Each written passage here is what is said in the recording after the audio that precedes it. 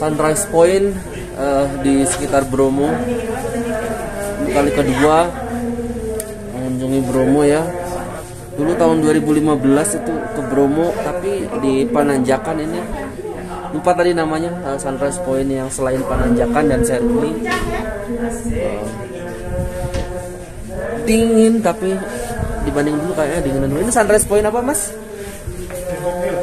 King Kong Hill. Oh iya Bukit King Kong apa itu? Cappuccino? Kalian oke.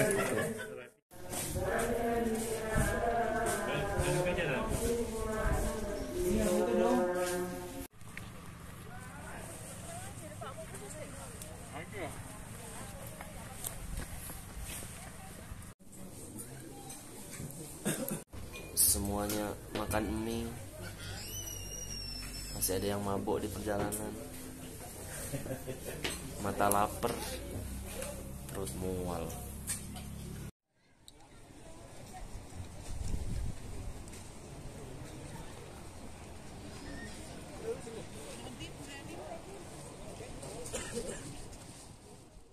Ada ya? Nanti sebentar ke bawah. Ada. Sampai ke sana kita. Nanti kita mendaki yang yang ada awan itu ada, kaki awan itu. Oh iya iya. Oh, nanti itu yang lumayan capek.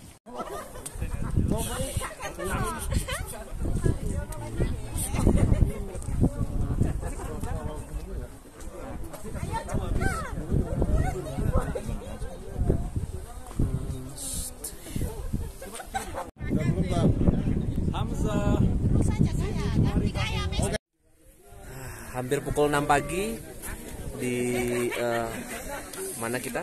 Iya, Bromo ya, eh, di Sunrise Point. Sudah lewat sunrise-nya, tapi kita sekarang melihat eh, panorama. Di sini tampak tiga gunung. Yang paling depan itu yang sering disangka Bromo sebenarnya adalah eh, Gunung Batok. Dan Bromo adalah eh, kawah yang mengeluarkan asap itu karena dia memang gunung berapi yang masih aktif ya. Eh, terus di belakangnya yang nggak kelihatan tadi ada Semeru sebenarnya. Di situ ada gunung Semerunya Tuh. nanti eh, turun sampai ke batas warna putih. Mana ya? Warna putih itu naik jeep. Dari situ eh, berjalan atau naik kuda gitu ya ke tangga Bromo untuk naik ke kawah melihat belerang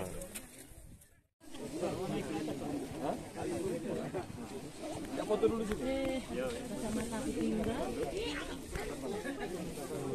kalian yang mau ke Bromo, usahakanlah datang ke sini bersama orang yang kalian cintai.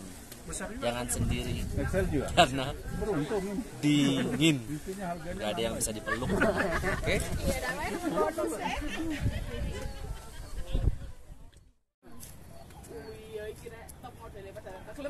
masih yo. Anjing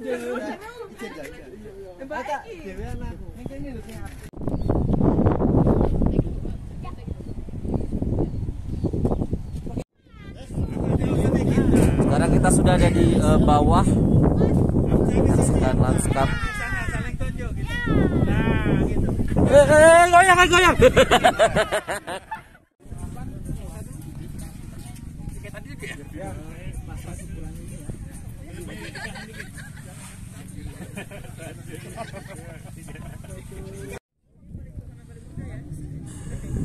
Pagi yang syahdu dari Midodareni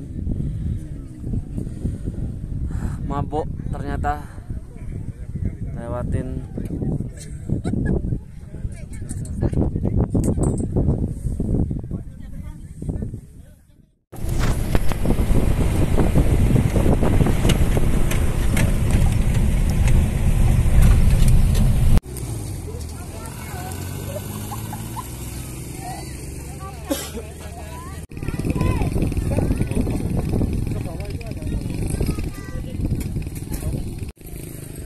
kita sudah sampai di dekat anak tangga promo bersama ada orang ini siapa ya? Oh, ada auditor. Auditor kamu nggak kerja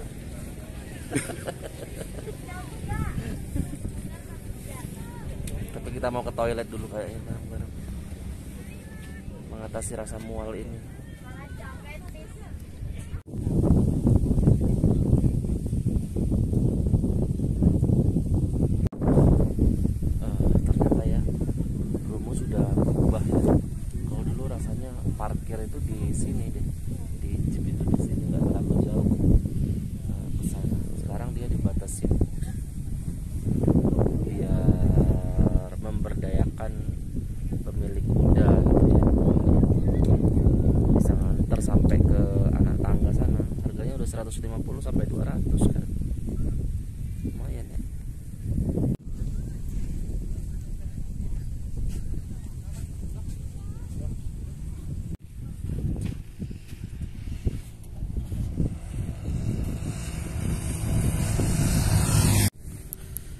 kita ada di pasir berbisik.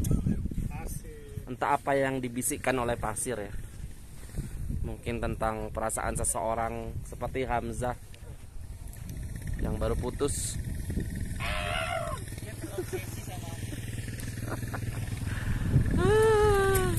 Yang mana sih namanya Hamzah? Bentar, satu dua. Yuk. Gak bisa gua. Gak bisa kayak gitu.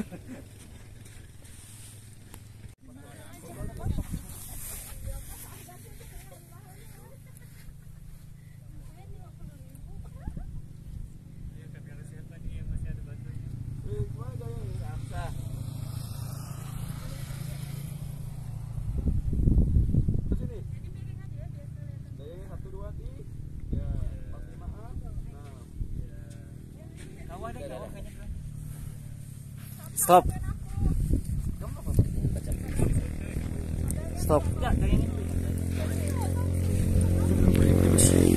Apa? Udah pencet. Stop.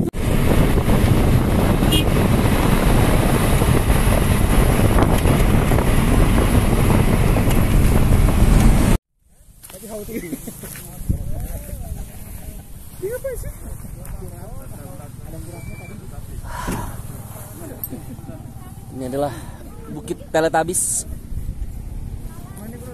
Kita membaca eh, sebuah puisi. Puisi dari Kita baca puisi juga. Biar Sudah habis masa sewa. Ini ya. Masa sewa terima kasih banyak. Habis masa sewa. Depan ada. ada nih. Ada awan. Apa yang mau dijual ya? Kasih jual dikit aja. Tapi bukitnya tetap kelihatan ya. hari Minggu.